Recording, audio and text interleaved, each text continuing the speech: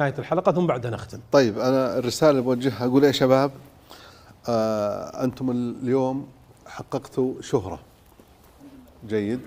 وهذه من فضل الله سبحانه وتعالى علينا وعليكم. حلو؟ الشهرة يا شباب هي نعمة ولا فتنة؟ إذا هي نعمة علينا فنستغلها بما نستطيع. مثل ما أنتم مستغلينها الآن. شوفوا كيف الله سبحانه وتعالى يسر لكم الوقف وهذه تكتب ميزان حسناتكم. جيد؟ وكذلك ما تقدمونه من نصائح وكلمات ويعني أشعار ومواقف جميلة وهل سلامة الصدر كل هذه تحت بند النعمة. إذا كانت فتنة فينتبه الإنسان. أعظم شيء في الفتنة يا شباب أعظم شيء تسهيل المعصية. ترى هذه خطيرة جدا. كيف تسهيل المعصية؟ المعصية تكون متناول يديك. ما تبحث عنها لا هي تجيك. بعطيكم مثال في مثلا الله سبحانه وتعالى ابتلى بني إسرائيل. في إيش؟ قال واسألهم عن القرية التي كانت حاضرة البحر. عرفت كيف؟ إذ يعدون في السبت آه، و- إذ يعدون في السبت إذ تأتيهم حيتانهم يوم سبتهم شرعا. ويوم لا يسبتون لا تأتيهم. آه، آه، أحسنت. آه، كان يوم السبت محرم عليهم الصيد. حرام على اليهود الصيد فيها. فالله سبحانه وتعالى ابتلاهم. يصيدون الاحد الأثنين ما تجي الحيتان يتعبون عشان يصيدون. يحتاج مشقة. يوم السبت الحيتان تجي على الشاطئ. وأسألهم عن القرية التي كانت حاضرة البحر يعني على الشاطئ. عرفت كيف؟ بحضرة فلان يعني بجنبه يعني على الشاطئ. فتجي الحيتان. شرعة ما يحتاج شبكة ولا سنارة بس امسك. مليانة يلا شيل. فيبتليهم الله سبحانه وتعالى؟ وش سووا؟ حطوا الشبك آه، قبل. حطوا الشبك يوم ال- ال- الجمعة الشبك ها؟ فإذا جت ال- الحيتان مسكتها السبت. وخذوها يوم الأحد. تلعب على ربك يعني؟ لا. الله ابتلى الصحابة مثل هالابتلاء اللي يجيبه جائزة من ناصر كم تعطيه نقطة؟ أعط اللي تبي 300 إلى 500 بحسب يلا قوة 500 السوق. 500 نقطة. الله ابتلى الصحابة مثل هذا الابتلاء. لكنهم نجحوا لم يرسبوا في الاخت- في الابتلاء. صحابة الرسول صلى الله عليه وسلم. إيش ال- الابتلاء؟ ها. في حنين؟ أعطني أنا ما إذا ويوم حنين إذا أعجبتكم لا. ها.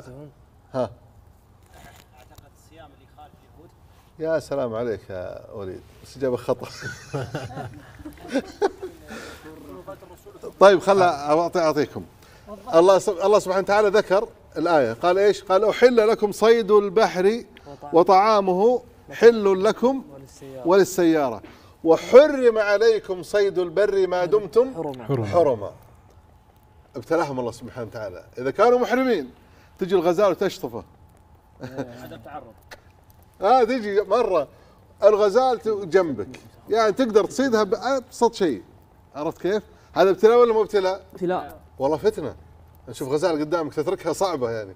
لكن إيمان الصحابة نجحوا ولم يرسبوا في هذا الاختبار. بل أن صحابيا لم يكن محرما آه، صاد صيد فقال لهم تفضلوا قال لا ما ناكل حتى نسأل النبي صلى الله عليه وسلم.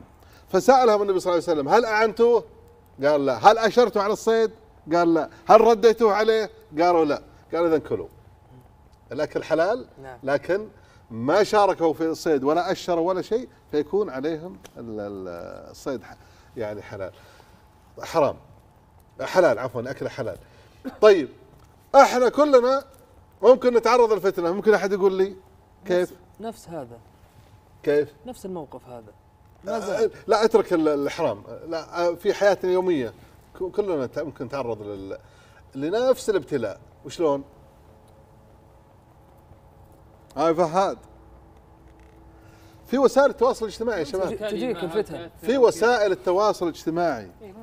ممكن. تبتلى بنساء ب- باي شيء. عرفت كيف؟ ما يحتاج إنك تروح أحيانا هي تأتيك. هذا ابتلاء تذكر ها؟ ويوم يسبتون إيش؟ ويوم ي- يسبتون تأتيهم آه، آه، ويوم لا يثبتون لا تأتيهم. لا لا ويوم إيه؟ إذ تأتيهم حيت... إيه، تأتيهم حيتانهم يوم يسبتون يوم سبتهم شرعا. يوم سبتهم شرعا. عرفت كيف؟ تذكر هذا الشيء. تذكر أن الله سبحانه وتعالى يبتلينا بهذا الشيء. تسهيل المعصية. فإن كنت من المؤمنين الصادقين لن يعني بإذن الله يعني تقترف هذه المعصية. وإن وقعت وفشلت في الاختبار فالله يستر. فلذلك يا شباب نحرص الحقيقة أننا نستغل الشهرة فيما يرضي الله سبحانه وتعالى. وجزاكم الله خير. الله يرفع قدرك و... ويبارك فيك. والله يعني سعدنا معكم ما شاء الله. طيلة الثلاثة شهور. وكان ودنا حقيقة أن أبو عبد العزيز يختم معكم اليوم. يجي الحقيقة يكون حاضر لكن قدر الله. يعذر والجمهور كذلك يعذر. وندعو له بالشفاء العاجل بإذن الله يا رب يا رب يا كريم. يعطيك العافية. الله عبد الله. امتعتنا أنت الشيخ سليمان جبلان آه، في الأسابيع الماضية. كتب الله أجركم وكثر الله خيركم وزادكم الله من واسع فضله.